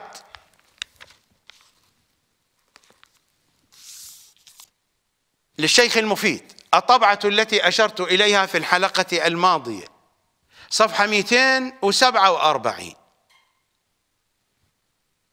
أمير المؤمنين يتحدث مع ميثم. مع ميثم التمار. فقال له ذات يوم سيد الأوصياء يقول لميثم إنك تؤخذ بعدي فتصلب وتطعن بحربة. فإذا كان اليوم الثالث ابتدر من خراك وفمك دما فيخضب لحيتك. فانتظر ذلك الخضاب. وتصلب على باب دار عمرو بن حريث. عمرو بن حريث هذا الذي أشرت إليه قبل قليل من أنه بنى دارا وقصرا في هذه المنطقة وبقي ساكنا فيها. لم ينتقل من هذه المنطقة. وتصلب على باب دار عمرو بن حريث. عاشر عشرة. أنت أقصرهم خشبة. وأقربهم من المطهرة. المطهرة هو مكان لتغسيل الموتى. فهذه أيضا جزء من المؤسسات المنشآت التي يحتاجها الناس. فهي في المكان الذي فيه قصر الإمارة وبيت المال ودور الصحابة ودور المسؤولين. هذه المنطقة الرئاسية. جزء من منشآتها هذه المطهرة. مكان لتغسيل الموتى وهذا المكان يحتاجه المسلمون ويحتاجه الناس دائما. وتصلب على باب دار عمرو بن حريث عاشر عشرة أنت أقصرهم خشبة وأقربهم من المطهرة. وامضي حتى أريك النخلة التي تصلب على جذعها فأراه إياها أمير المؤمنين يقول له وتصلب على باب دار عمرو بن حريث عاشر عشرة. فميثم يصلب قريبا من دار عمرو بن حريث. المعروف عندنا بحسب المعطيات المتوفرة في كتب التاريخ في رواياتنا في أخبارنا ما عندنا من معطيات وإن كانت قليلة. ميثم التمار دفن في الموضع الذي صلب فيه. ميثم دفن في الموضع الذي صلب فيه. بقرينة المطهرة كانت هناك قبور في هذه المنطقة. فالناس تغسل موتاها في المطهرة وتدفن هنا. ميثم بحسب ما عندنا من معطيات متوفرة من أنهم دفنوه في المكان الذي فيه صلبوا. ما هذا جرى على مسلم أيضا. حينما ألقيت جثته من قصر الإمارة وسحلت وأعيدت إلى نفس المكان الذي رميت إليه من قصر الإمارة دفنوه في نفس المكان. وحتى بالنسبة لهاني بن عروة دفن في نفس المكان.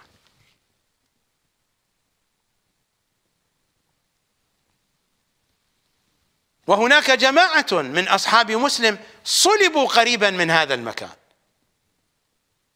وهم أيضا دفنوا في نفس المكان الذي صلبوا فيه. على أي حال هذه المطالب خارجة عن بحثنا الآن بحاجة إلى تنقير وتدقيق فيها. لكن الكلام بخصوص ميثم التمار. أمير المؤمنين هكذا قال له وتصلب على باب دار عمرو بن حريث. ومثل ما قلت لكم دار عمرو بن حريث في هذه المنطقة. المخزوميون بنوا بيوتهم في هذه المنطقة.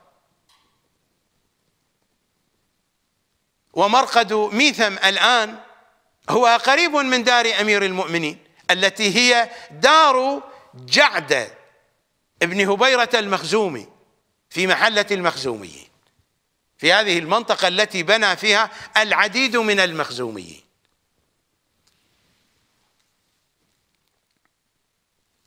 وتصلب على باب دار عمرو بن حريث عاشر عشرة أنت أقصرهم خشبة. وأقربهم من المطهرة. وامضي حتى أريك النخلة التي تصلب على جذعها. فأراه إياها فكان ميثم يأتيها يأتي هذه النخلة فيصلي عندها ويقول بوركت من نخلة لك خلقت ولي عديت. ولم يزل يتعاهدها حتى قطعت. وحتى عرف الموضع الذي يصلب عليها بالكوفة. قال وكان يلقى عمرو بن حريث فيقول له إني مجاورك فأحسن جواري. إني مجاورك فأحسن جواري.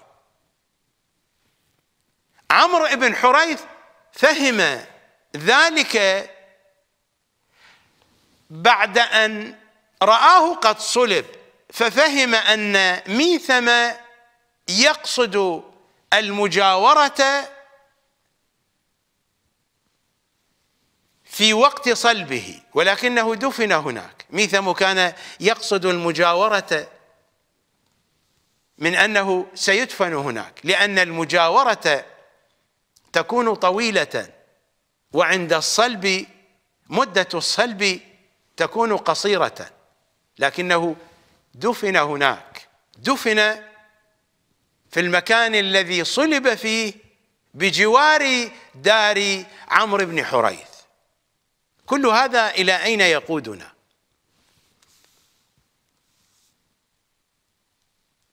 وكان يلقى عمرو بن حريث فيقول له إني مجاورك فأحسن جواري. فعمرو بن حريث ما كان يفهم قصد ميثم. عملية الصلب لم تحدث لحد الآن. وعملية الدفن لم تحدث لحد الآن. ما الذي يقصده ميثم التمار حينما يلقى عمرو بن حريث فيقول له إني مجاورك فأحسن جواري. الذي يتوقعه ماذا؟ من أن ميثم التمار سيسكن مجاورا له. كيف سيسكن مجاورا له؟ حتما سيشتري دارا سيؤجر دارا بالقرب من دار عمرو بن حريث. فماذا يقول له؟ فيقول له عمرو أتريد أن تشتري دار ابن مسعود أو دار ابن حكيم؟ هذا يعني أن دار ابن مسعود تجاور دار عمرو بن حريث. وميثم صلب عند دار عمرو بن حريث ودفن في الموضع نفسه. هذا يعني أن دار ابن مسعود في هذه الجهة في الجهة الجنوبية من المسجد. أعتقد أن الفكرة صارت واضحة. وصارت واضحة جدا. وهنا شخصنا دار ابن مسعود. لأننا إذا شخصنا دار ابن مسعود سنشخص مؤخر المسجد الذي سيصاب بالهدم. إذا هدم حائط مسجد الكوفة من مؤخره مما يلي دار ابن مسعود يعني من جهة دار ابن مسعود. فدار ابن مسعود ليست ملاصقة للمسجد. قصر الإمارة في بداية أمره لم يكن ملاصقا للمسجد. الذي جعل قصر الإمارة ملاصقا للمسجد هو زياد بن أبيه. فالبيوت كانت بعيدة عن المسجد ليست ملاصقة للمسجد. فالإمام حين يقول مما يلي دار ابن مسعود يعني من جهة دار ابن مسعود لأنها كانت معروفة.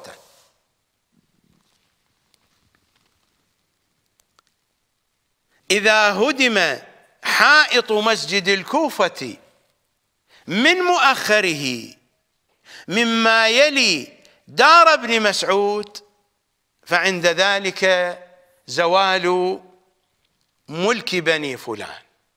نذهب إلى فاصل. إذا هدم حائط مسجد الكوفة من مؤخره مما يلي دار ابن مسعود. إذا عرفنا الآن أن دار ابن مسعود كانت مجاورة لدار عمرو بن حريث. ودار عمرو بن حريث هي في هذه المنطقة. إلا أن الأمير أخبر ميثم التمار من أنه سيصلب عند دار عمرو بن حريث. وبحسب المعطيات صلب هناك ودفن هناك. وكلمة ميثم التي كان يقولها لعمر بن حريث من أنني سأجاورك فأحسن جواري المجاورة لن تكون لمدة قصيرة كمدة الصلب المجاورة تكون لمدة طويلة لأنه سيدفن في هذا المكان. اذا الجهة التي فيها دار عبد الله بن مسعود هي جهة مزار ميثم في زماننا. هذه الجهة ستكون إذا ما رسمنا خطا منها إلى مسجد الكوفة ستكون في الاتجاه الجنوبي الغربي لمسجد الكوفة. فمؤخر المسجد بالنسبة لهذه الجهة إما هو الحائط الجنوبي وإما هو الحائط الغربي. مؤخر المسجد سيكون حينئذ إما هو الحائط الجنوبي الحائط القبلي وإما أن يكون الحائط الغربي. الحائط الغربي الذي فيه باب الآن من أبواب المسجد وهو باب حديث. معروف بباب الحجة. هذا الباب أنشئ في التسعينات. في العصور السابقة كان في هذا الجدار باب يعرف بباب كنده قديما ولكنه بعد ذلك ألغي باب كنده. أنا أتذكر حينما كنت صغيرا في الستينات وأذهب مع والدي لزيارة الكوفة كان يأخذني معه ما كنت أذكر بابا في هذه الجهة وحينما أصبحت فتيا في السبعينات أيضا حينما كنت أذهب لوحدي لزيارة مسجد الكوفة ما كنت أذكر بابا هناك وبعد ذلك خرجت من العراق. فهذا الباب أنشئ في التسعينات باب الحجة. باب كنده كان قديما موجودا. في هذا الحائط وآثاره موجودة في البناء. وإنما قيل له باب كنده لأن قبيلة كنده بنت بيوتها في الجهة المقابلة لهذا الباب. هذا الباب يؤدي إلى بيوت قبيلة كنده وهي قبيلة كبيرة كانت في الكوفة. فسمي الباب باسمها في قديم الزمان. اذا بحسب هذه المقدمات وبحسب هذه التفاصيل مؤخر المسجد إما هو الحائط الجنوبي وإما هو الحائط الغربي. لأن دار ابن مسعود تقع في هذه الزاوية في الزاوية الجنوبية الغربية.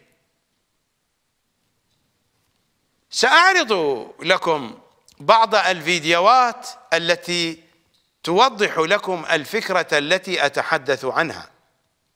قطعا أنا لا أقطع بهذا أمامكم. ربما بيني وبين نفسي أقطع بهذا إنما هي القرائن. الدالة على ذلك.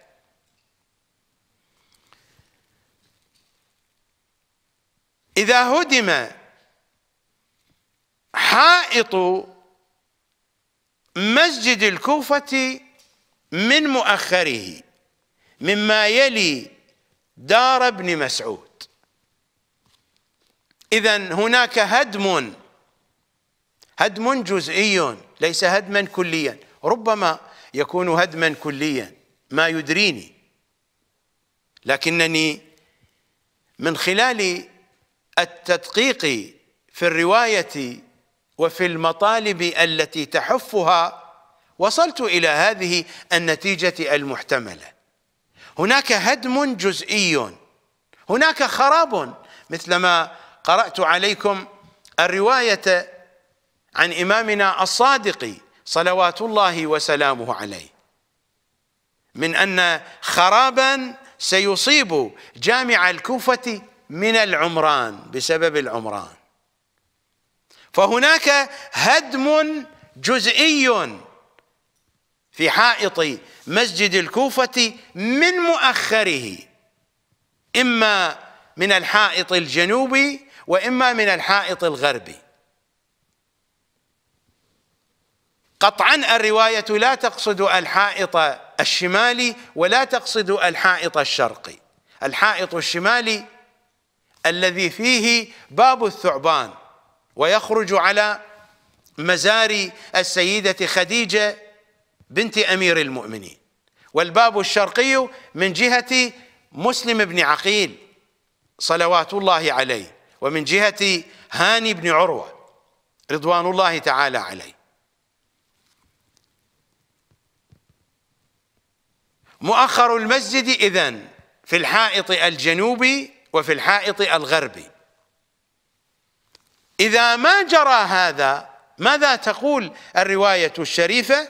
فعند ذلك عند ذلك زوال ملك بني فلان زوال ملك بني العباس. الحديث عن بني العباس في حكمهم الثاني والذي سيكون قريبا من زمان ظهور الحجة بن الحسن. هذه علامة علامة شيعية كوفية عراقية علامة خاصة بنا.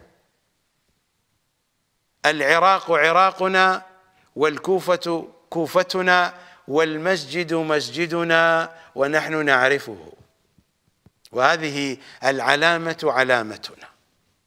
هذه علامة للشيعة المهدويين. وهي علامة واضحة. صحيح أن الشيعة أهملوها لم يعبأوا بها لكنها علامة واضحة. تكرر ذكرها في الروايات والأحاديث.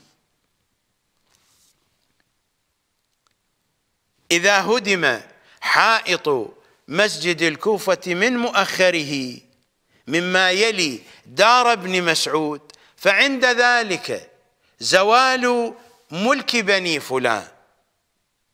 يمكن لقائل أن يقول مسجد الكوفة تعرض في التاريخ لمرات عديدة من الهدم. فكيف نشخص هذه العلامة؟ اولا نحن لا نشخص العلامة هذه لوحدها. تأتي في سياق علامات وتأتي في سياق زمان. فيه الكثير من الإرهاصات وفيه الكثير من الإشارات والدلائل. ومع ذلك فإنني ما أكملت قراءة الرواية. أما إن هادمه لا يبني. أما إن هادمه لا يبنيه يعني أن الهدم هذا سيبقى حتى يزول ملك العباسيين. الرواية واضحة جدا. أما إن هادمه لا يبني. هادم المسجد لا يبنيه. لماذا نحن لا ندري. ربما يهدمه ويموت بعد هدمه. لا أن موته بسبب الهدم. جاءه أجله فربما هدم الحائط وبعد ذلك مات. فهو لا يبني هذا الهدم لا يبني هذا الحائط. ربما يبنى ربما يبنيه غيره. هذا الاحتمال قائم. لكن الذي يظهر من السياق كله باعتبار أن هدم الحائط علامة ومن جملة ملابسات هذه العلامة فإن هادمه لا يبني وإنما سيبقى الهدم موجودا شاخصا للأبصار شاخصا للعيون.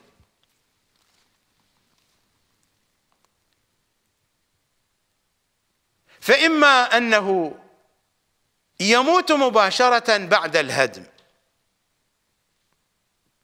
وإما أن يكون مسؤولا حين هدمه وبعد ذلك تجرد منه المسؤولية.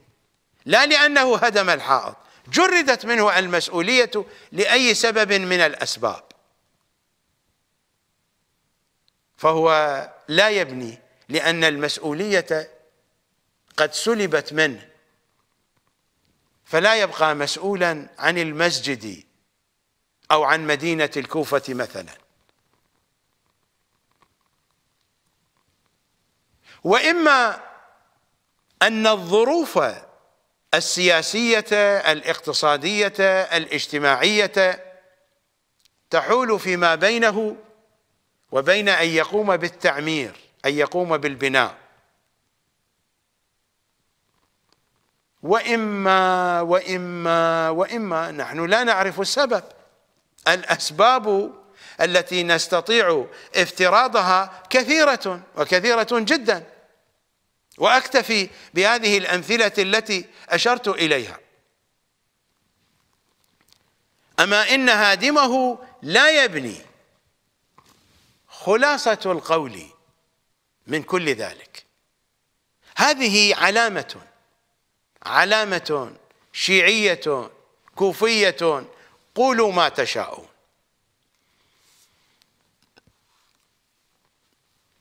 هناك هدم قد يكون كليا لا أدري. لكن القرائن تشير إلى أن الهدم جزئي. هناك هدم جزئي لحائط مسجد الكوفة من مؤخره. وبحسب القرائن شخصت لكم. مؤخر المسجد إما في حائطه الجنوبي وإما في حائطه الغربي استنادا إلى تشخيص موضع ومكان ومحل دار عبد الله بن مسعود. وذكرت الجهة الإجمالية لموضع دار عبد الله بن مسعود الاتجاه الجنوبي الغربي للمسجد.